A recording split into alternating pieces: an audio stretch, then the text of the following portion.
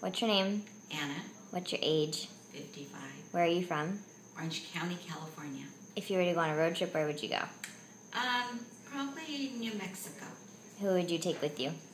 Um, my family.